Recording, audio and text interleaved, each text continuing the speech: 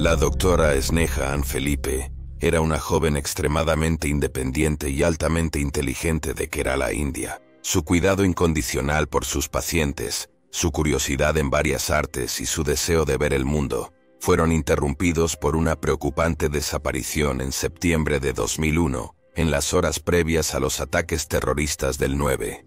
11 dejando a todos los que la conocían en la comunidad de Manhattan y en toda la ciudad de Nueva York, buscando respuestas en un mar de misterios que nos sumergieron a todos en la duda. Con la esperanza de proporcionar un razonamiento más sustancial, basado en evidencia observable y análisis situacional. Este es un examen de la desaparición de Sneha Ann Felipe, en la antesala de uno de los días más oscuros de la historia estadounidense, y la lucha de décadas de su familia para esclarecer el destino de Sneha, y finalmente, su heroico legado.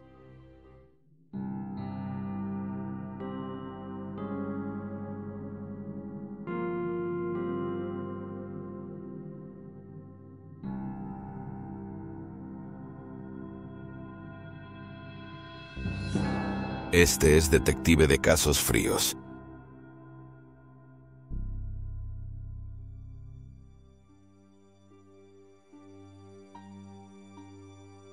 Sneha Ann Felipe nació el 7 de octubre de 1969, hija de los padres Dr. Kochail y Ana Susana Felipe en Kerala, India, un estado indio justo en la costa de Malabar.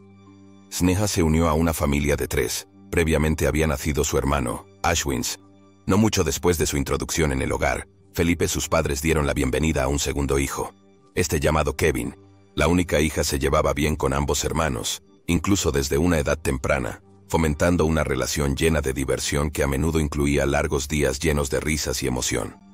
Sin embargo, después de unos años, la familia Felipe decidió que su tiempo en Kerala, India, estaba llegando a su fin, viendo un traslado a los Estados Unidos como la oportunidad perfecta para la carrera del Dr. Kochail y para criar una familia brillante y en crecimiento, los Felipes se mudaron al norte del estado de Nueva York. Una vez que llegaron, Sneha y los demás se establecieron en Hopwell Junction, un caserío y lugar designado por el censo en el condado de Duquesa, cerca de Poughkeepsie, Nueva York, Finalmente en América Sneha se adaptó bien al cambio en los diversos estilos de vida y culturas que la rodeaban. Ella se sintió especialmente atraída por las bellas artes y tuvo una especial inclinación hacia la música, la escritura y la pintura. Sin embargo, las actividades creativas de Sneha solo eran una parte de sus intereses generales. Muchos de sus compañeros de clase y maestros de escuela durante su infancia posterior comentaron sobre su inusual inteligencia para su edad, en combinación con una profunda empatía que tenía por los demás.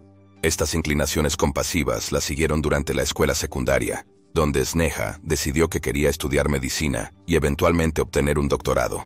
Por supuesto hubo vacilación. Sneha aún mantenía un vínculo crucial con las artes y consideró ir en contra de todas las expectativas y dedicarse a la pintura o un enfoque similar en la universidad, en lugar de un título médico formal.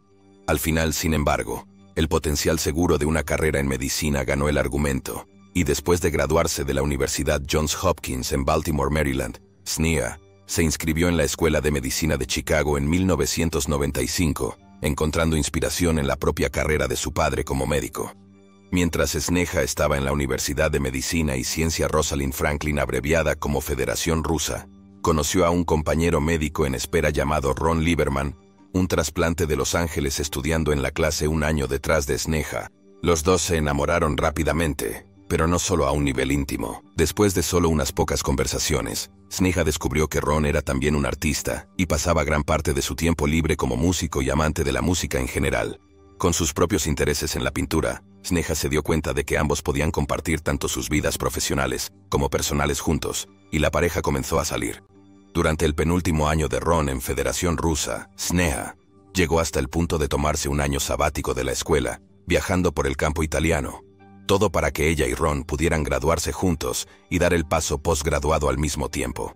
Una vez que la pareja terminó en Federación Rusa, se mudaron al barrio de East Village en el Bajo Manhattan de la ciudad de Nueva York, donde ambos recibieron pasantías cercanas. Ron encontró una oportunidad en el Centro Médico Jacobi en el Bronx, mientras que Sneha trabajó en el Centro Médico Cabrini.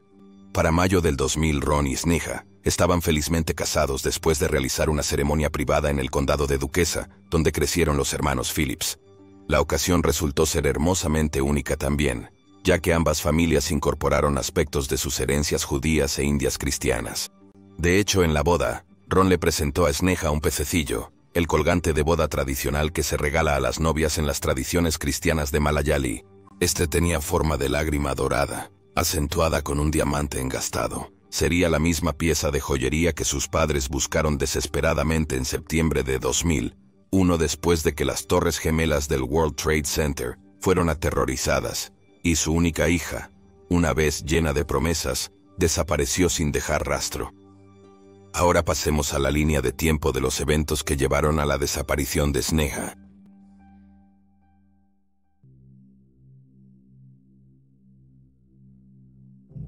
En el verano de 2000, los recién casados Sneha y Ron amplían su vivienda a un apartamento en Parque Battery City, a solo unas pocas cuadras del World Trade Center.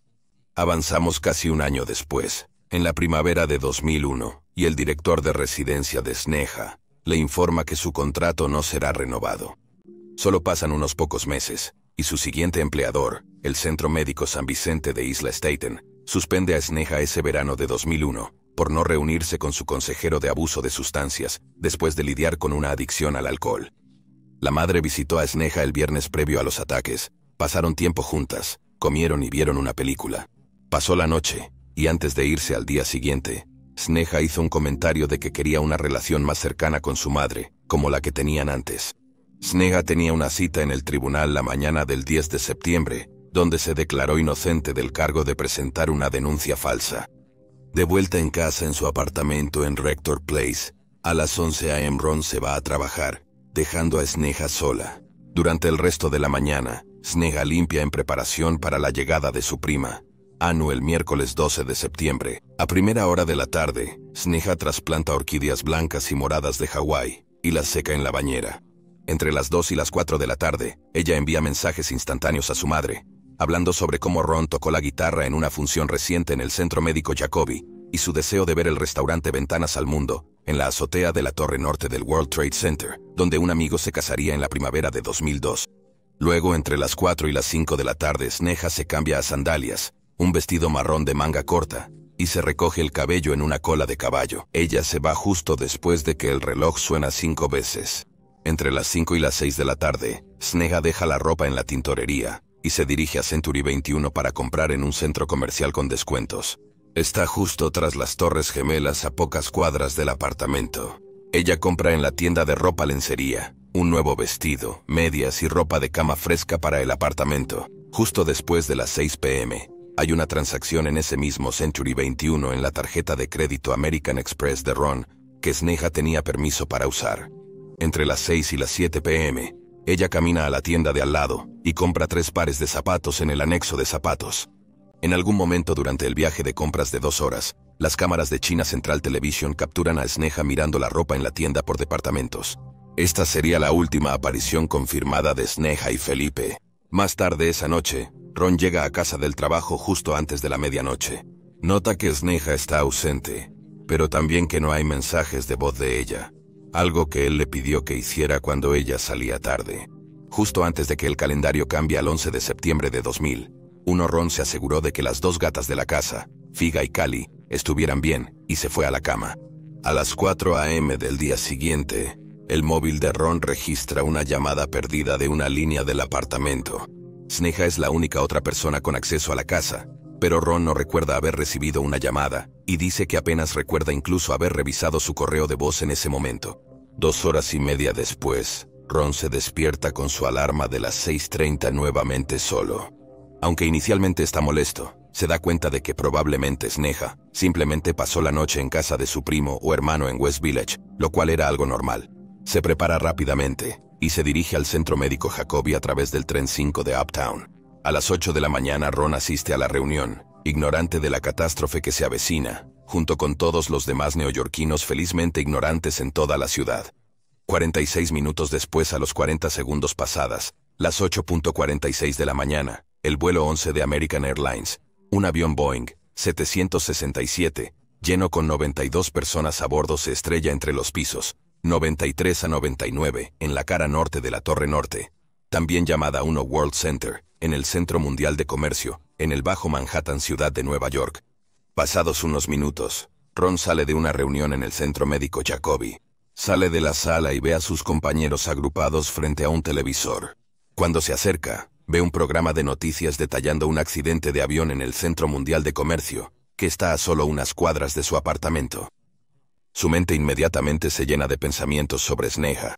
Al principio, todos creen que el accidente de avión fue un accidente, pero esos sentimientos no duran mucho cuando a las 9.03 de la mañana, el vuelo 77 de United Airlines, un avión Boeing 767, lleno de 65 personas a bordo se estrella entre los pisos 77 y 85, en la cara sur de la Torre Sur, también llamada Dos World Trade Center. Alrededor de la misma hora, Ron llama frenéticamente a su casa en su apartamento en Parque Battery, en un intento de contactar a Sneha, pero nadie contesta. Deja un número de teléfono en el mensaje de voz en caso de que Sneha regrese a casa y necesite contactarlo. Tras el intento fallido, Ron contacta a la madre y hermano de Sneha sin noticias de ella. Mientras tanto, los horrendos eventos del 11 de septiembre continúan en todo Estados Unidos. A las 9.37 am, el vuelo 77 de American Airlines se estrella contra el lado oeste del Pentágono en Distrito de Columbia. A las 9.57 am, el vuelo 93 de United Airlines es tomado por sus pasajeros de los secuestradores, quienes teóricamente se dirigen al edificio del Capitolio también en Distrito de Columbia. Luego, en un lapso de 30 minutos, la torre sur del Centro Mundial de Comercio se derrumba a las 9.59 de la mañana. El vuelo 93 se estrella en el condado de Somerset, Pensilvania, a las 10.03 am, y la torre norte del Centro Mundial de Comercio se derrumba a las 10.28 am. Mientras el caos que se desata en Manhattan y en otros lugares asola a Estados Unidos en su conjunto, Ron permanece solo, pensando en todos los escenarios en los que Sneha podría haber terminado. Sus teorías van desde el secuestro hasta el asesinato, hasta ser ella misma una víctima de los ataques al Centro Mundial de Comercio. Después de horas de angustiosa espera, Ron decide salir del trabajo y buscar a su esposa alrededor de las 3 pm. Por el fuerte tráfico en el área metropolitana de Nueva York, a las 9.11 de la mañana, Ron tiene que pedir aventón en una ambulancia hacia la zona cero. El viaje dura más de seis horas, ya que los escuadrones tuvieron que navegar en contra del flujo de tráfico, y no se encuentra ningún rastro de Sneha. A las 9 pm, Ron llega a Tribeca solo para descubrir que la Departamento de Policía de Nueva York ahora ha acordonado el lugar del accidente del Centro Mundial de Comercio. Puede usar sus credenciales médicas para pasar y corre hacia su apartamento. Desafortunadamente, debido a la pérdida de energía en el área, las puertas delanteras están cerradas y Ron debe refugiarse en el piso de su amigo en West Village, la mañana siguiente, el 12 de septiembre Ron se despierta y regresa a Parque Battery donde finalmente puede acceder al edificio de apartamentos. Sube las escaleras, entra a su unidad y encuentra el piso cubierto de hollín debido al colapso de la torre, ya que se dejó una ventana del dormitorio abierta. En ese momento, Ron se da cuenta de que puede usar el hollín a su favor y busca huellas humanas en el suelo. Tristemente, todo lo que encuentra son huellas de patas dispersas de los dos gatitos de la pareja, lo que significa que Sneha no pudo haber regresado después de que el Centro Mundial de Comercio se derrumbó. Después de otra ronda de chequeos con los amigos y la familia de Sneha Ron, decide reportarla como desaparecida ante el Departamento de Policía de Nueva York, uno de los más de 9.000 informes de desapariciones que se presentaron inmediatamente, después del 9-11. En los días siguientes, Ron asumió la responsabilidad de buscar a su esposa. Llamó a American Express cuando notó que faltaba su tarjeta de crédito y le dijeron que la última compra se realizó en la tienda departamental Century 21 el 10 de septiembre. Luego, Ron se aventuró a esa misma tienda, donde colocó volantes de persona desaparecida para Sneha en y alrededor de los pasillos. Más tarde en la semana, Ron recibe una llamada de un ex empleado de la tienda Century 21, quien le informa que recordaba haber visto a Sneha la noche del 10. El empleado también le dice a Ron que recuerda que Sneha había estado con otra persona en la tienda ese día creyendo que la otra persona era una mujer india como ella. Ron lleva esta información de vuelta a Century 21, quienes le permiten revisar tres semanas de grabaciones de seguridad. Es entonces cuando encuentra la toma de China Central Television de su esposa buscando ropa. Sin embargo, ella está sola en todos los clips en los que aparece. Después de esperar a que el Departamento de Policía de Nueva York comenzara su investigación, y frustrado con su actitud indiferente hacia su destino en relación con el 9, Once Ron contrató a un investigador privado, Ken Galante. Inicialmente, el investigador creía que había una posibilidad de que Sneha usara los ataques al World Trade Center como una cobertura para escapar de sus luchas en la vida y comenzar de nuevo en algún lugar desconocido. Sin embargo, Esta teoría es efímera, ya que tanto Gallant como Ron llegan al acuerdo de que lo más probable es que Sneha regresara al apartamento la mañana del 11 de septiembre, viera los ataques en tiempo real e inmediatamente decidiera ir a Ground Zero y ayudar a los heridos con su formación médica. Es muy probable que aquí es donde murió, a pesar de que nunca se recuperó su cuerpo. Ron lleva esto a la policía después de recoger suficientes pruebas, solo para descubrir que el Departamento de Policía de Nueva York tiene una investigación separada sobre su desaparición, creyendo que en realidad no fue una víctima del 9. 11, sino más bien es una víctima de juego sucio debido a su comportamiento errático y antecedentes penales. En 2003, Lieberman protesta por la conclusión de la investigación de su esposa, por parte del Departamento de Policía de Nueva York, y argumenta que ella debería seguir siendo una víctima oficial de la tragedia del 9. 11 así como obtener acceso al Fondo de Compensación para las Víctimas del 11 de septiembre, por sus esfuerzos en localizarla e intentar traerla a casa. El Departamento de Policía de Nueva York presenta estos hallazgos al tribunal, que escucha la reclamación de Ron, pero finalmente acuerdan que no hay suficientes pruebas para demostrar que Snija fue una víctima de los ataques al World Trade Center, y su nombre se retira de la lista oficial de muertes, junto con otros dos, en enero de 2004. Increíblemente, Ron y la familia Felipe luchan con uñas y dientes para apelar esta sentencia, argumentando que la policía fabricó sus hallazgos a través del testimonio familiar y la evidencia circunstancial.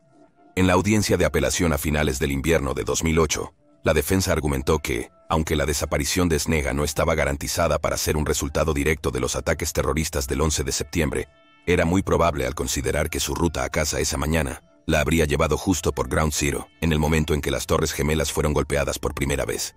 Por lo tanto, estando en las cercanías con su título en medicina, el grado de especulación era mayor, y el lugar legítimo de Sneha como una víctima oficial del día más oscuro en la historia moderna de Estados Unidos fue restaurado. A pesar del fallo, la historia en torno a Sneha Ann Felipe no ha sido una de heroísmo potencial, sino una de escepticismo, culpando sus luchas de la adultez temprana a su estado como persona desaparecida, y afirmando que tanto su familia como Ron Lieberman utilizaron su desaparición para su beneficio financiero.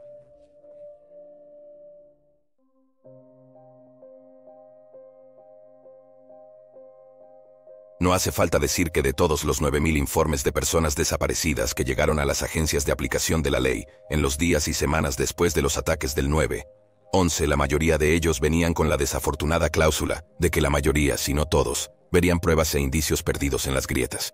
Simplemente había demasiado caos e histeria para que se llevaran a cabo investigaciones adecuadas, sin mencionar que muchos de estos informes eran duplicados, o casos en los que la policía o las familias encontraban a la víctima como una de las bajas de los propios ataques. Si hay un ángulo optimista que tener, es que gran parte de la ciudad de Nueva York cuenta con una gran cantidad de cámaras de seguridad y otros sistemas de China Central Television en cada rincón y esquina alrededor del metro. Por supuesto, la advertencia en este escenario es que muchas cámaras de seguridad fueron desactivadas o abandonadas la mañana del 9, 11 y en los días siguientes. Las autoridades locales, estatales y federales se esforzaron por confiscar todo el material de video en Nueva York para resolver el complot del 9-11 a pesar del retraso. Estos esfuerzos terminaron beneficiando también a investigaciones más pequeñas. Esta es la situación exacta que impactó la búsqueda de Sneha Ann Felipe y proporcionó la pista más importante al evaluar lo que podría haberle sucedido, ya sea en la noche del 10 de septiembre o en algún momento del 11 de septiembre, cuando el investigador privado Ken Galante investigó la desaparición de Snija, pudo localizar las grabaciones de seguridad del vestíbulo principal de los apartamentos Rector Place, en Park Battery, la residencia de la pareja durante aproximadamente un año. Las cintas mostraron que la mañana del martes 11 de septiembre de 2001 a las 8.43 de la mañana, una mujer entra al vestíbulo de Rector Place, camina hacia el ascensor. Se queda de pie solo un par de momentos y se va.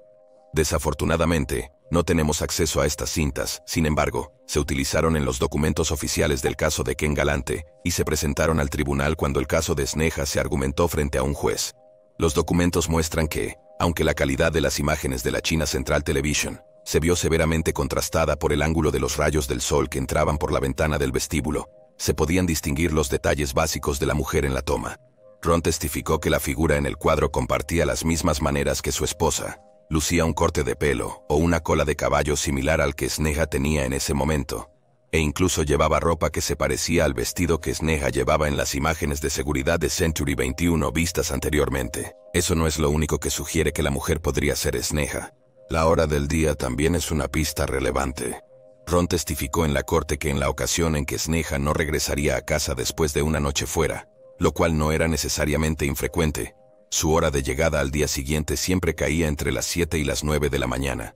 Con una marca de tiempo de alrededor de las 8.43 am, encaja perfectamente dentro del patrón.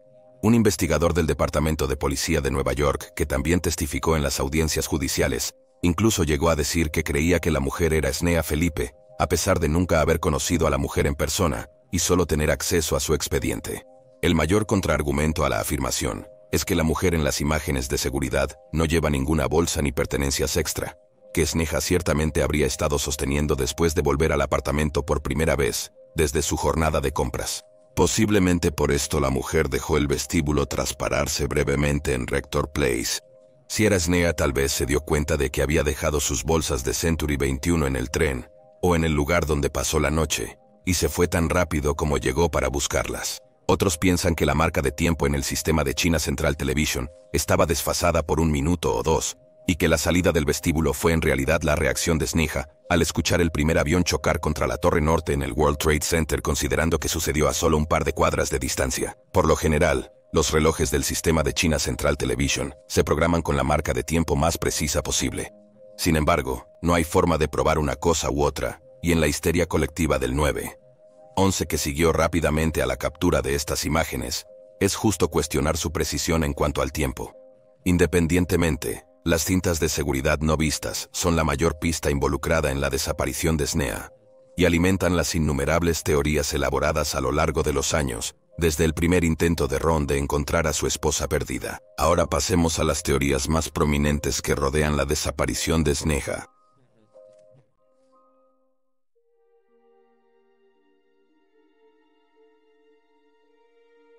Diversas teorías sobre el estado de Snea y Felipe han ardido tanto en Internet como en varias agencias de investigación como Incendio Forestal en los años desde la hora más oscura de América. De esas teorías, la mayoría llega a la conclusión de que Sneha estuvo de alguna manera involucrada con la tragedia del 9, 11 y terminó siendo una víctima. Sin embargo, la teoría más grande que se desvía de esa línea de pensamiento provino de la agencia responsable de encontrar a Sneha, la propia Departamento de Policía de Nueva York.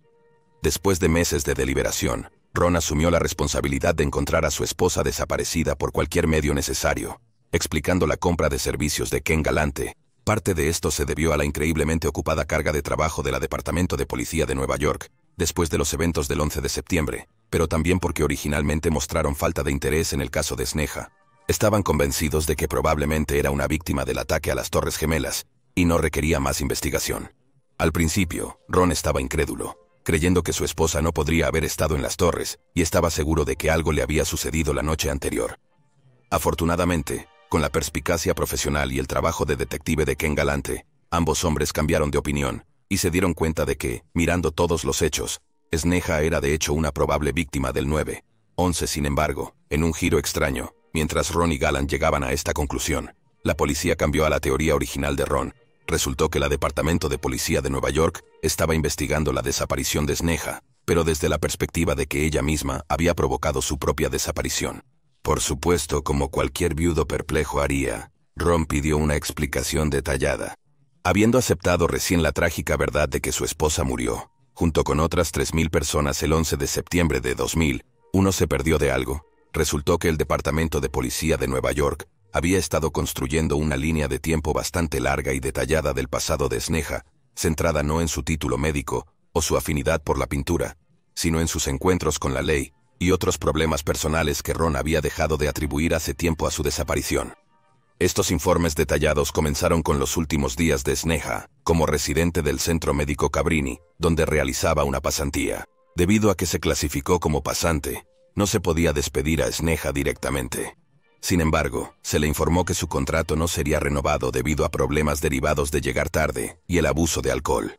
Eso no impidió que Sneha pasara tiempo con sus antiguos compañeros de trabajo fuera del centro médico.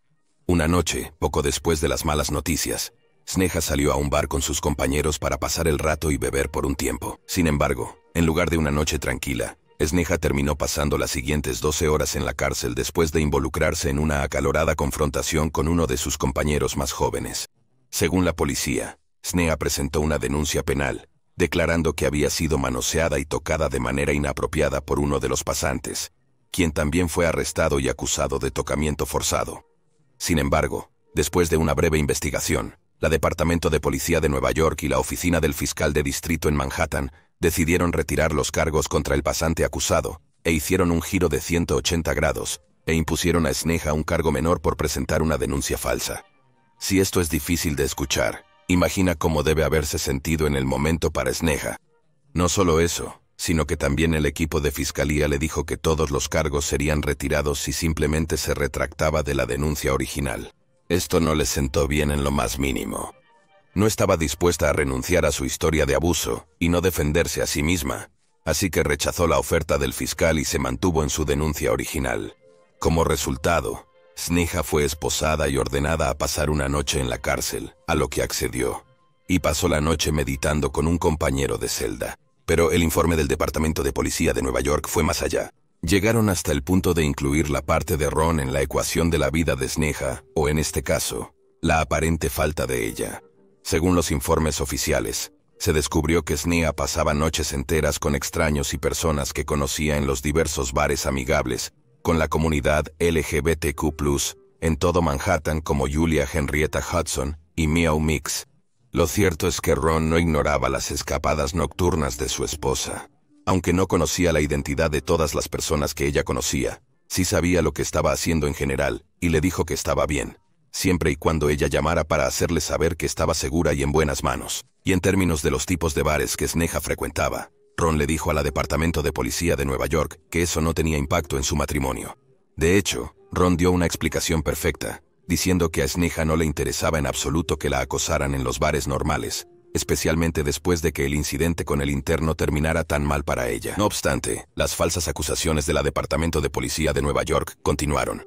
Sus documentos también incluían una supuesta entrevista con el hermano de Sneha, quien supuestamente le dijo a la policía que había sorprendido a Sneha, teniendo relaciones sexuales con su novia en ese momento. Sin embargo, cuando se le preguntó al hermano de Sneha sobre esto en la audiencia de apelación, negó vehementemente haber hecho estos comentarios, y mucho menos participar en un interrogatorio sobre esa situación en general. Lo más condenatorio de todo, los registros policiales sostienen que la mañana del 10 de septiembre de 2000, uno después de un procedimiento judicial, para la apelación de la acusación criminal de Sneha, ella y Ron, tuvieron una acalorada confrontación verbal en los terrenos del tribunal que terminó con Ron alejándose furioso, y Sneha incrédula por sí misma.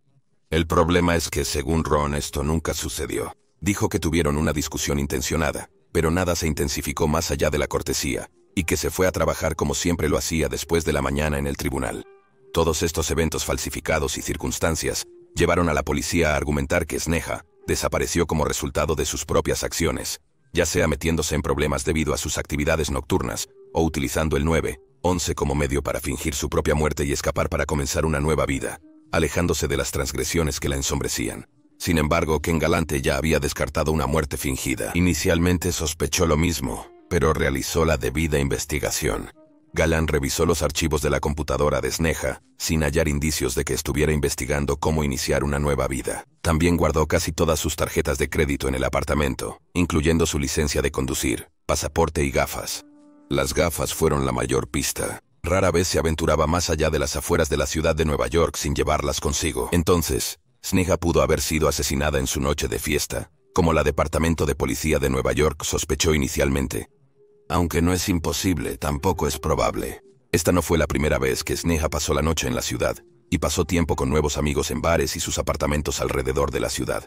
Ella sabía lo que estaba haciendo, sabía con quién no debería juntarse, y obviamente era consciente de los peligros que las mujeres enfrentan en los bares de una gran área metropolitana. No habría hecho lo que hizo si no supiera cómo protegerse y reconocer las señales de advertencia.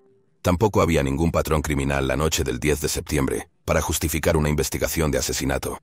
No había homicidios sin resolver, ninguna mujer india sin identificar, ningún tiroteo en bares ni secuestros reportados. Y por supuesto, casi no se reportaron delitos en absoluto el 11 de septiembre, y solo se reportó un homicidio sin resolver al final del día.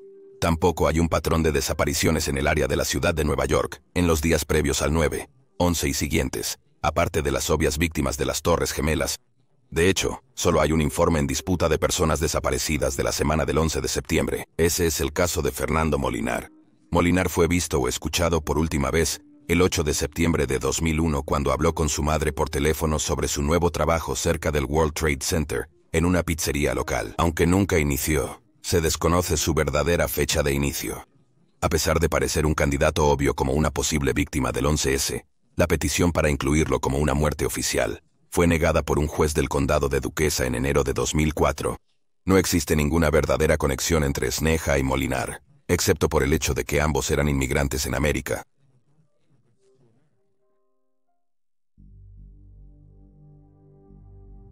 En cuanto al caso de Sneha Ann Phillip, estamos de acuerdo con su viudo Ron, el investigador privado Ken Galante, la familia Phillip, y ahora la totalidad de los tribunales del condado de Duquesa, que Sneha pereció como resultado de los ataques del 11 de septiembre en el World Trade Center.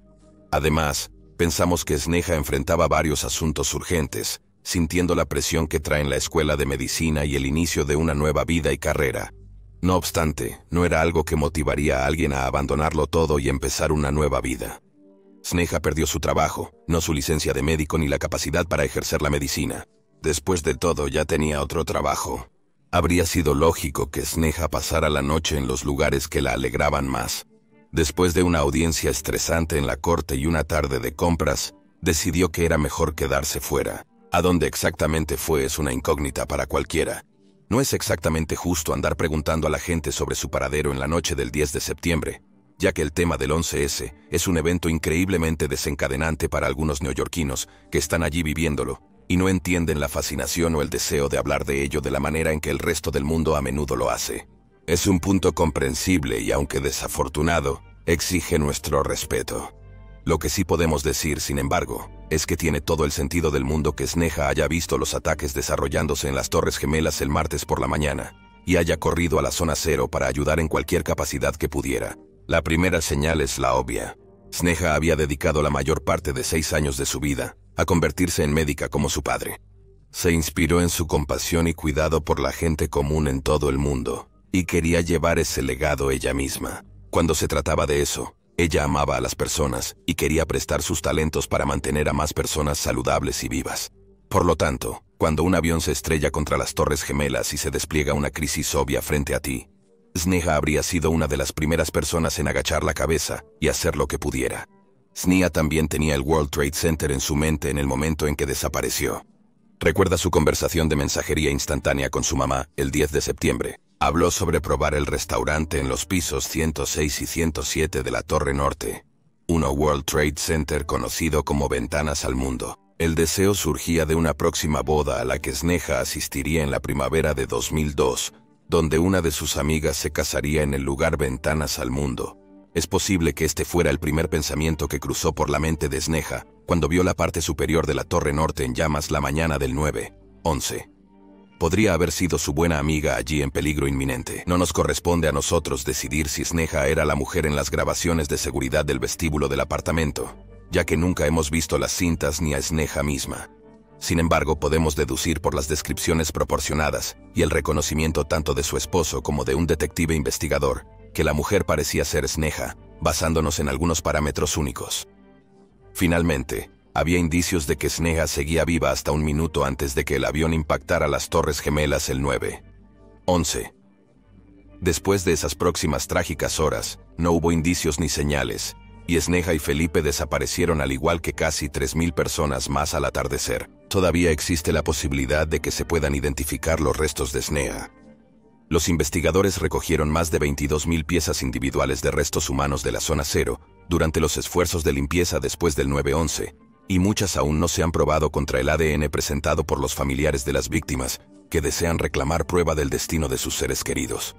En total, aún no se han encontrado los restos de 1.347 víctimas del 9-11 incluyendo los de SNEA. Es posible que algún día se presente una coincidencia, pero la tasa de identificación de víctimas ha disminuido gradualmente, debido a que gran parte del ADN aparece como coincidencia repetida, o el ADN necesario no está en el sistema de muestras.